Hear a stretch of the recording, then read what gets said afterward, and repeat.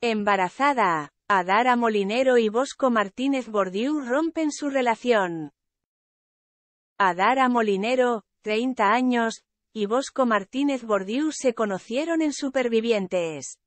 El sobrino de Pocholo estaba encantado de pasar tiempo en callos cochinos con la ex gran hermana. Ella, no tanto. La reina de los realities parecía tener solo ojos para sus amiguitos, Alma Bollo y Jonan Viergo. Con ellos sí que se tatuó las coordenadas de esa playa hondureña en las que tantas horas pasaron juntos. Bosco tuvo que conformarse con ser testigo y con los 100.000 euros del premio por haber ganado esta edición de Supervivientes. Su historia de amor comenzó en los últimos coletazos del concurso y ha terminado antes de que acabe el verano. La final de Supervivientes 2023 se acercaba.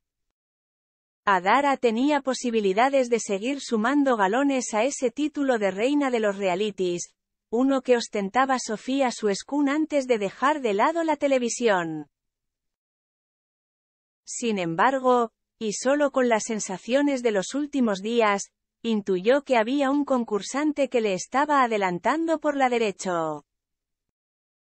No era Asraf Beno, 27 años, aunque eso le habría encantado a Mercedes Milá, 72 años, quien ha ejercido de defensora acérrima del casi marido de Isa Pantoja, 27 años, en cada una de sus apariciones.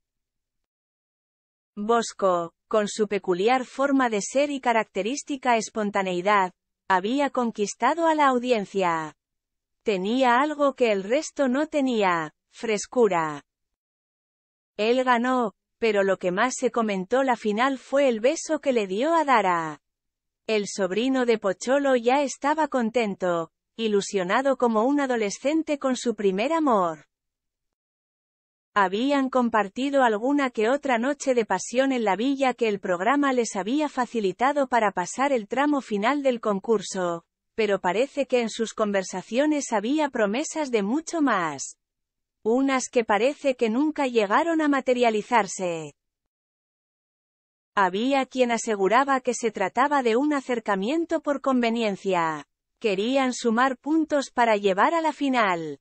Una vez conseguido ese objetivo, ya todo daba igual. Tras su paso por el concurso, compartieron salidas y fiestas, incluso una escapada a Valencia, pero no la hicieron solos. Allí les esperaban Jonan y Alma. Los rumores eran una realidad. Ellos no han tenido su propio espacio.